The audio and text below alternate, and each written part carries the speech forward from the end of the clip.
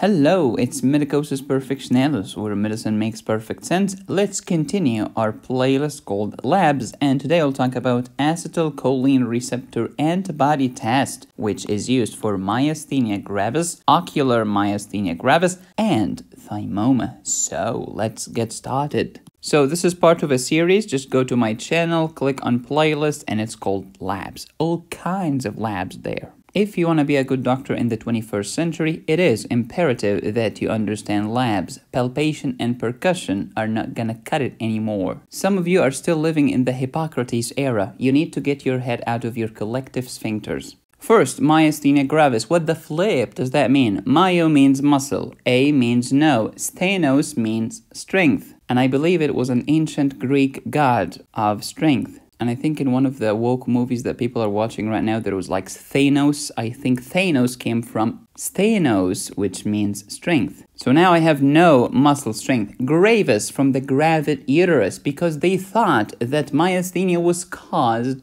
by pregnancy. That's why they called it gravis, but that's not true. It's an autoimmune disease regardless of you being pregnant or not. Let's talk about myasthenia. Here is your brain. Draw a line in the sand. Anything in front is motor, anything behind is sensory. So I want to move my biceps. I want to move my triceps, my quadriceps. How do I do it? You start with your primary motor cortex, and then it goes down in the beautiful internal capsule, and then down, down, down, down, down, down until the medulla, and then it will cross to the other side of your body. If you started left, you will go to the right. If you started right, you will go to the left and this is called the motor medullary decussation. Then these fibers will descend in the spinal cord inside the beautiful cortico-spinal tract because we started in the cortex and we're going to the spinal cord until we reach the anterior horn cell that we desire. And then we will start a lower motor neuron, which means anything before this was called an upper motor neuron.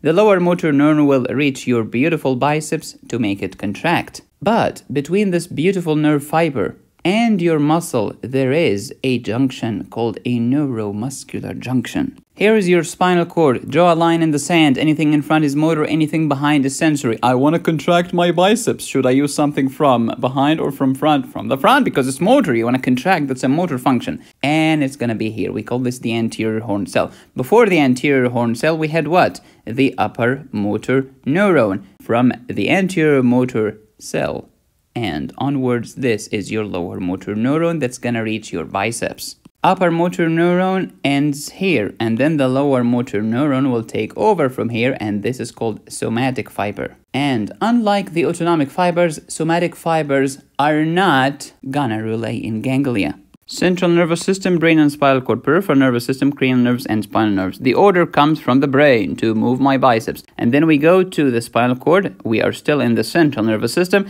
And then the lower motor neuron will exit the spinal cord. This is called a peripheral nervous system because that's a spinal nerve until we reach the biceps. In case of the biceps, this peripheral spinal nerve is the musculocutaneous nerve. The structural unit of the nervous system is the neuron. These are your beautiful dendrites. The cell body or the soma is here, and here's the axon. A group of somas in the CNS is called the nucleus, in the PNS is called ganglia. A group of axons in the CNS is a tract, and the PNS is a nerve. So the musculocutaneous nerve, what the flip is that?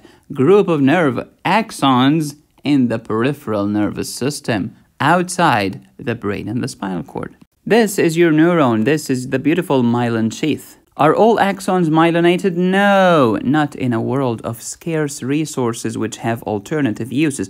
Myelin is amazing, but it's pretty, pretty expensive. Some of your axons are myelinated. We call them A and B. What's the difference? A are thick, B are thin. Which one is better? The thick. Oh, because the conduction velocity is 100 meters per second. B fibers are myelinated but thin. Conduction velocity is 10 meters per second. C, unmyelinated and thin. This is the worst.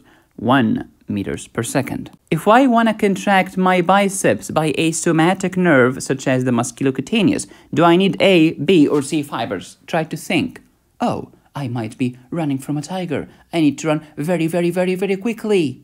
Oh, it has to be A myelinated and thick, the best types of fibers, also the most expensive. Ask Lionel Messi, do you want to replace your A fibers with some C fibers? Heck no. I don't know how he says that in Spanish, but I've, it's okay.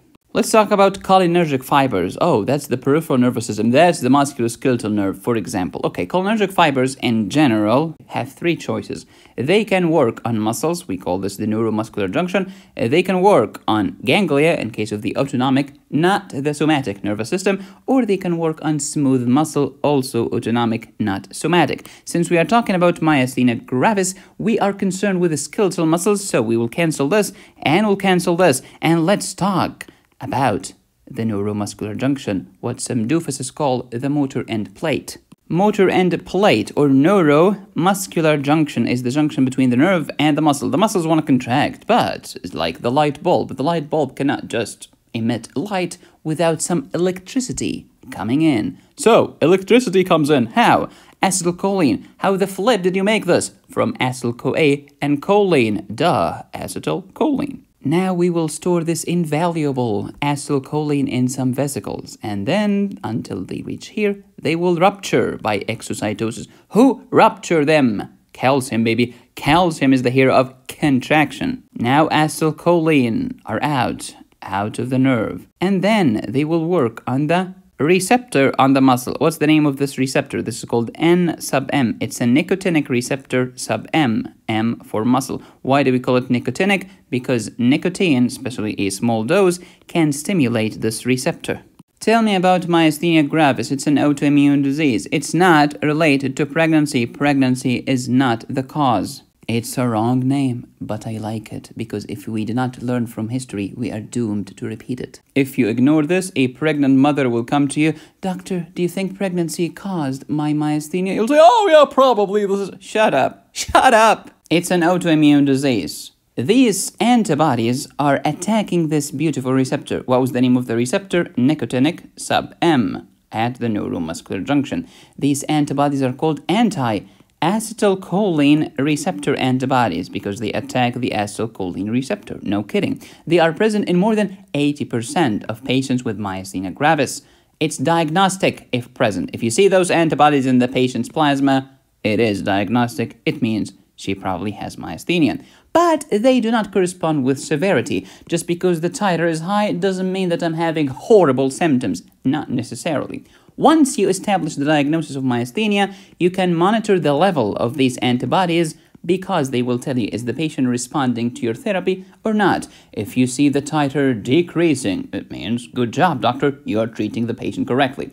If the titer keeps going up, you're a doofus and you better try something else. Doing the same thing and expecting different results is the definition of insanity. These antibodies are not just one type, no, no, no, no. Three subtypes. You have acetylcholine receptor binding antibody, this is the most commonly used. We have acetylcholine receptor modulating antibody. If this came back negative and you still suspect myasthenia gravis, go with the second one. Acetylcholine receptor blocking antibody is the worst, it's the least sensitive. Okay, medicosis, I got the test and it's elevated. The titer is so high. What could that be? It could be one of three things myasthenia gravis, ocular myasthenia gravis, or thymoma. Because believe it or not, 59% of patients with thymoma actually have myasthenia gravis. Also, 10% of patients with myasthenia have thymoma. So, doctor, I'm doomed? No, no, no, no. There is no test in history that's 100% accurate. It does not exist. This could be a false positive. Huh, such as what? You could have Lambert-Eaton myasthenic syndrome or ALS, amyotrophic lateral sclerosis, or Lou Gehrig's disease. You could be taking penicillamine. Why would you take this in 2020? I have no idea autoimmune liver disease could also be a cause. So if you're taking penicillamine and the test is high, and then you stop taking penicillamine and the test came back to normal, you should be so happy. So let's learn about myasthenia from Picmonic. Myasthenia gravis is depicted by mice in grave. What do we have? We have antibodies against the acetylcholine receptor. Here is a seagull cola. What do you get in myasthenia? My muscles are so weak and I'm so tired, so I get ptosis. Here's a toast for you. I also get diplopia or double vision. Double vision. Muscle use will lead to weakness. The more I use my muscles, the weaker I get. As you see here, the mouse is getting weaker. The cause of death is respiratory disease. See here, the lung is in the grave. How do we treat it? Acetylcholinesterase trace inhibitors trying to boost the level of acetylcholine in the neuromuscular junction. Plasmapheresis, here is the fairy with plasma TV. We are basically trying to wash out these auto antibodies from the patient's system. Thymectomy can help, and as you see here, here's a thigh for thymoma, and then thymectomy is basically you remove the tumor. If you want to learn about anti-cancer pharmacology, go to my website, medicosisperfectionalis.com. I have a course for you that you can download today. Thank you for watching. Please subscribe, hit the bell, and click on the join button. You can support me here or here. Go to my website to get my premium courses. Thank you for watching. As always, be safe, stay happy, and study hard. This is Medicosis Perfectionalis, where medicine makes perfect sense.